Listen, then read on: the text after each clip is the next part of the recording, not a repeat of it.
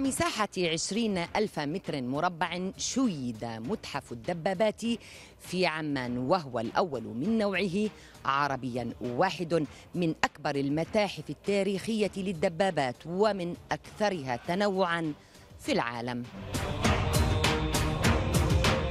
تضع الحرب أوزارها هناك في ساحات الوغى فيضم المتحف هنا بين جنباته ما تبقى من عتاد الدبابات ويستعرض تاريخها عبر سنوات.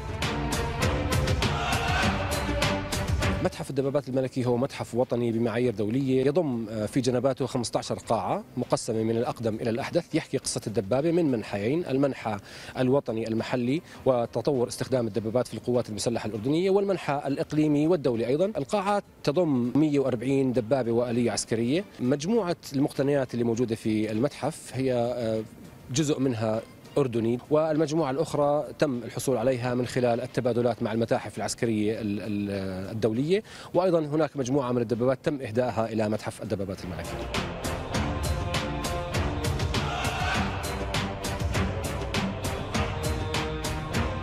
اللي أمامنا هاي دبابة مارك 1 هي أول دبابة استخدمت في الحرب العالمية الأولى من قبل القوات البريطانية و كان الهدف من صناعتها هو اختراق الخنادق الألمانية اللي كانت مشهورة بجودتها وب يعني مناعتها.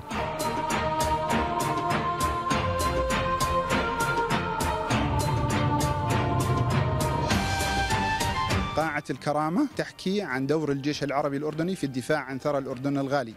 وتحتوي هذه القاعة على الأسلحة التي شاركت في هذه المعركة ومن أهمها دبابة بتون 47 بالإضافة إلى دبابة بتون 48 كما تحتوي على الغنائم التي اغتنمها الجيش العربي الأردني من الجيش الإسرائيلي قاعة القدس. وتحكي هذه القاعة عن دور الجيش العربي الأردني في الدفاع عن فلسطين معارك القدس الكبرى ومعارك اللطرون وباب الواد. لنا شاهين عمان الميادين